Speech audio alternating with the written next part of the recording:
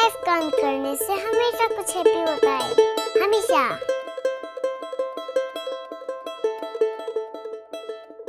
One